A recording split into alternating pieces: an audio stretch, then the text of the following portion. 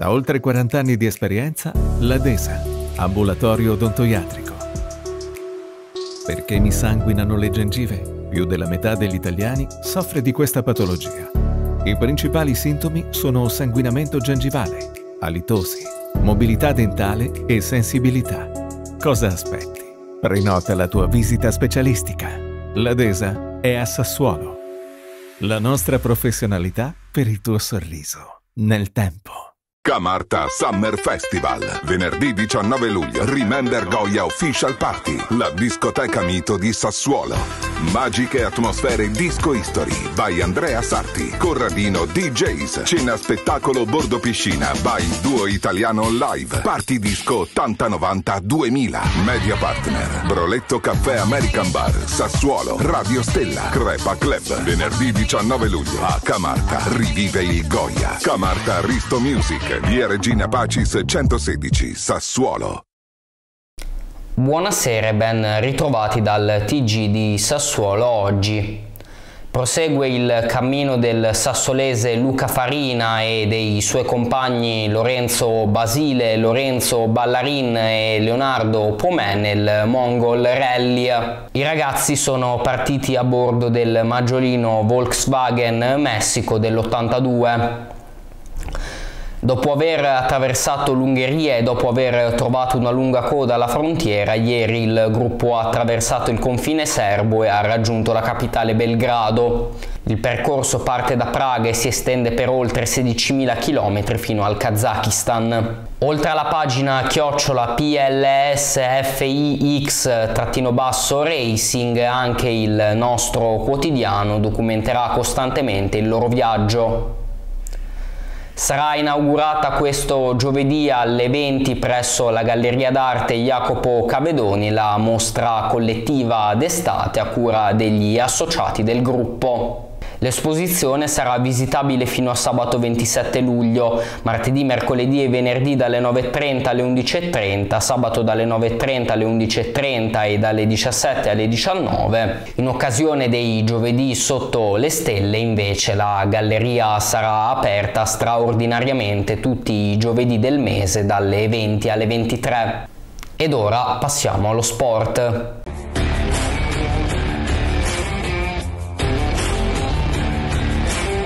Audio Jungle.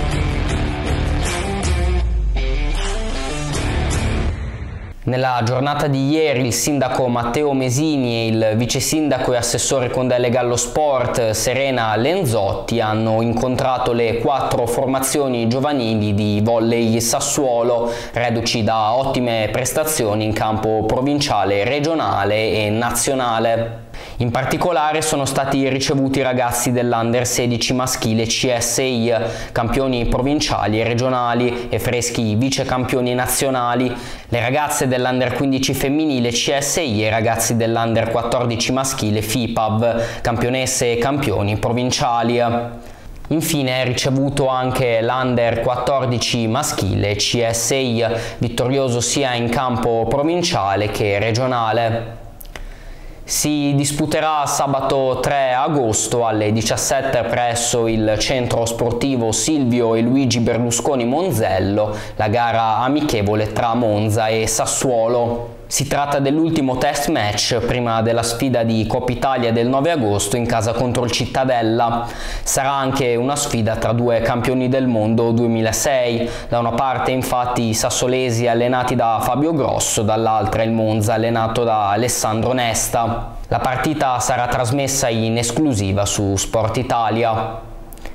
A partire dallo scorso venerdì e per tutto il weekend si sono disputati campionati italiani assoluti di tennis wheelchair allo Sporting Club Sassuolo. A trionfare nella categoria singolo è stato il 31enne di Tennis Club Terranova Luca Arca che ha battuto il suo compagno di squadra nella categoria doppio Silvio Culea. Scopriamo di più nel nostro servizio. Luca, una vittoria che vabbè, nelle dimensioni è abbastanza larga, ma è anche una vittoria di eh, una manifestazione che Sassuolo ha voluto fortemente e nella quale tu hai dato tutto te stesso. Eh, sì, io ho cercato di dare il massimo soprattutto perché è un qualcosa di allenante per me giocare e confrontarmi sempre con, con, i migliori giocatori d'Italia. Mi è dispiaciuto il fatto che quest'anno siamo stati in pochi partecipanti per problemi di cui io non voglio neanche saperne perché comunque io vado avanti verso i miei obiettivi, per me era soltanto una tappa di inizio visto che comunque domani eh, dovrebbe esserci l'ufficialità della partecipazione ai giochi di Parigi. Eh, niente da dire, il circolo è stato accogliente, ospitale, è stata bellissima tutta la settimana, siete stati tutti quanti una, una grande famiglia e, e, quindi tutto questo fa soltanto bene a, a me, a tutto il movimento e a, e a tutta l'organizzazione. Ecco. Hai anticipato un attimo la risposta alla mia seconda domanda, c'è qualcosa che ti ha portato con tappe di avvicinamento ad un sogno che covavi, che, che cullavi e che può essere realizzato, domani c'è l'ufficializzazione hai detto, ma eh, Parigi è qui vicino. Parigi sarà tra un mese e mezzo, è, è stato un anno abbastanza pesante perché comunque venivo fuori da un brutto infortunio, poi una non bellissima vicenda familiare personale e quindi quest'anno è stato un anno durissimo sotto tutto, tutti quei punti di vista, probabilmente è stato però tutto quello che mi ha dato qualcosa in più per andare avanti.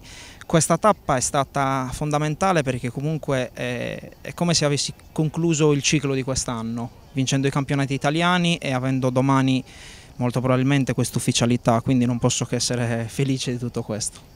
Ale, e un, una gratificazione tra le tante gratificazioni che lo Sporting ha, questo tipo di torneo che ormai è diventato punto di riferimento anche per la federazione.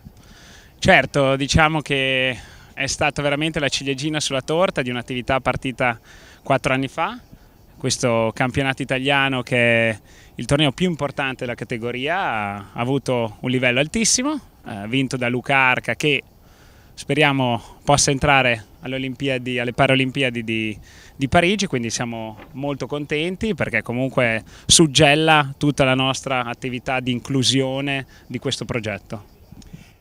Tra eh, le gratificazioni e anche la promessa che il prossimo anno si terranno ancora qui i campionati.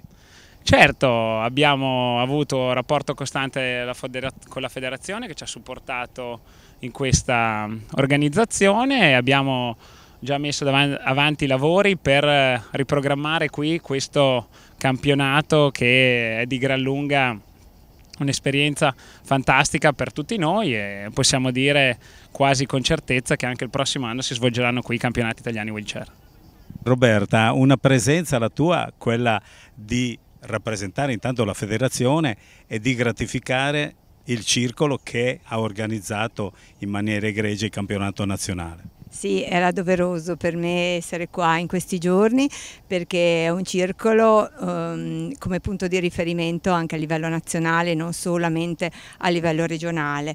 Eh, riesce ad unire sia l'aspetto uh, di um, inclusione come abbiamo visto oggi, eh, ma anche eh, a livello agonistico di, di, tantissimi ragazzini, di persone più adulte e quindi porta il classico benessere, no? come noi stiamo cercando come federazione a livello nazionale arrivare, al benessere sia sociale ma anche al benessere personale. Sembra che il tennis eh, allunghi la vita, eh, riesca a far diventare dei cittadini migliori e quindi noi vogliamo entrare sempre di più nelle scuole, essere sempre presente nei vari settori della società. E quindi ecco come vogliamo che il wheelchair diventi anche una nostra importante fetta all'interno della nostra bellissima federazione che sta avendo dei bellissimi successi con i nostri atleti. Ma se riusciamo quest'anno a portare anche un atleta wheelchair come speriamo domani di ricevere questa bella uh, notizia uh, è il primo passo per continuare un grosso cammino. Ricordiamo che abbiamo fatto quota 503 nei tesserati, abbiamo più di 88 ragazzini eh, under 18 come giocatori proprio wheelchair, quindi stiamo facendo un grande lavoro proprio di inclusione e speriamo di andare avanti così in futuro. Dal TG di Sassuolo oggi è tutto, vi diamo appuntamento a domani e vi auguriamo una buona serata.